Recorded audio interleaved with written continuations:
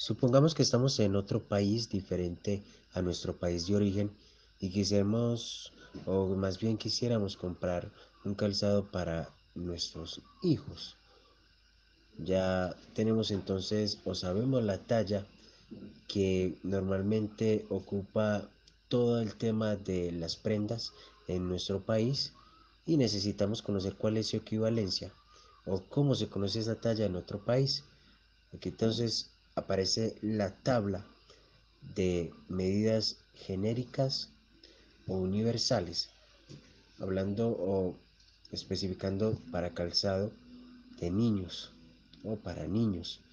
Aparecen entonces las regiones de Estados Unidos, Reino Unido, Europa y aparece una información también bastante interesante para poder entender este tema de por qué o qué equivalente o la equivalencia de todas esas unidades dentro de todos esos parámetros específicos que son los centímetros. Esto quiere decir, por ejemplo, que 16 centímetros en Estados Unidos, haciendo la comparación, se conseguiría un calzado de 10,06, que entonces en Reino Unido sería 9.5 y en Europa sería 27. Ahora, hay algo muy interesante que se debe también de entender y es lo relacionado al tema de Estados Unidos. Por ejemplo, en Estados Unidos no se manejan los centímetros, sino que se manejan las pulgadas. Es un sistema de medición diferente, por lo cual entonces básicamente lo que se debe hacer es buscar el factor de conversión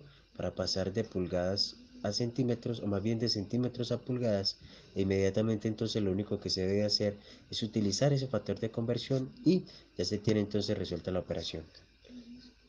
Ahora entonces se empieza a desglosar una información que es de vital importancia y se necesita o se requiere para poder entender cómo funciona esta tabla. Son cuatro ítems, como lo especificaba Estados Unidos, Reino Unido, Europa y centímetros. Empezamos a mirar entonces en Estados Unidos 1006, 1106, 1206 y 1306. Hasta ahí va lo que serían entonces en centímetros 16, 17, 18, 19 y 20. Básicamente empieza 1.0y, 1.5y, 2.0y, 2.5y, 3.0y, 4.5y, hasta llegar a 6, 0y. Y de esa manera entonces en Reino Unido se empiezan a mirar que también funciona de una manera similar. 9.5, 10.5, 11.5, 12.5, 13.5, siempre medidas aproximadas, ya que debe entre esos dos factores de conversión o unidades puede haber también entonces un espacio que es una medida de tolerancia, por así decirlo. Entonces, empieza entonces aquí a desglosarse la información y después de 13.5 aparece 1, 1.5, 2, 2.5, 3, 3.5 hasta llegar a 5.5.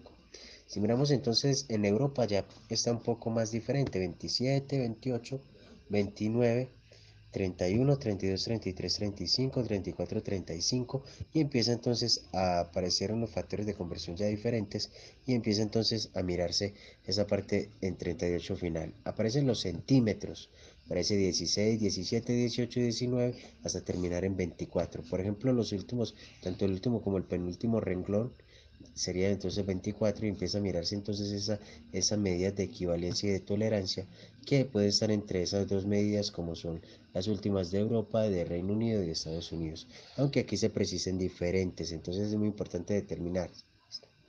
Aparecen todas esas medidas con esas diferencias para poder entenderlas, entonces es muy importante comprender que tanto la, desde abajo hacia arriba, tanto el renglón 3 y 4 funciona de la misma manera, es porque esas medidas de 35 y 36 son medidas de tolerancia.